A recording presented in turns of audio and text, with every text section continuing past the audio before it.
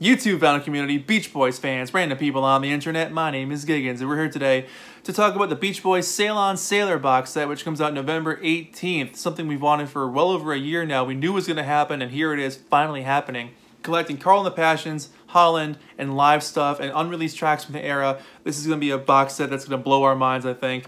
Um, what an amazing period for the band. Blondie and Ricky were full-fledged members. They were writing together. They were performing together. The band themselves has had new energy, a different desire, a different drive. They sounded like a band reinvigorated, just ready to take on the world with this new feel that they had, which uh, unfortunately didn't last that long, but it was an amazing period for the guys. Anyways, this box set, uh, there's multiple versions you can get. There's a two CD set, there's a two LP set, there's a six CD box set, which is kind of like how they did this the Feel Flows box set last year. And then the big vinyl box set, which is both albums, Holland and Carl and the Passions. And then a three disc live at Carnegie Hall album from 1972, which is to be so cool to have that thing. You also get the Mount Vernon and Fairway 45 on vinyl for the first time since it came out. Um, and Carl and the Passions itself is a single disc. There's no pet sounds on it, so they're doing sort of the European style, which is really cool. So the back cover will be like the way it is basically everywhere else across the world except for America.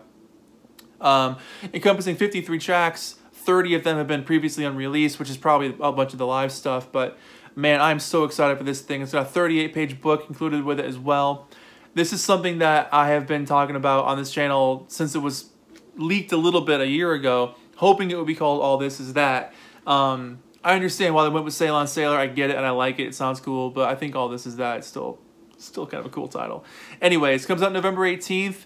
Um, the, the, teaser track is out now for You Need a Mess of Help to Stand Alone, live at Carnegie Hall 1972. Sounds fantastic. It's available on all streaming platforms right now, but uh, the album itself and the box sets and everything else are available for pre-order on the Beach Boys website, so go check them out. I just I cannot wait for this thing. Uh, the hype for it, the excitement for it, I'm just so stoked, and it's gonna be great to have in our collections. So it's gonna be something that we can all enjoy and talk about for a very long time to come. Uh, I love that they're doing these reissue projects for them now. It keeps their brand alive. It keeps the summer alive, uh, uh, but it keeps their music alive. It keeps what makes them special alive. So, uh, UMG, Iconic Artist Group, if you guys are watching this, please hire me. I would love to work with you guys.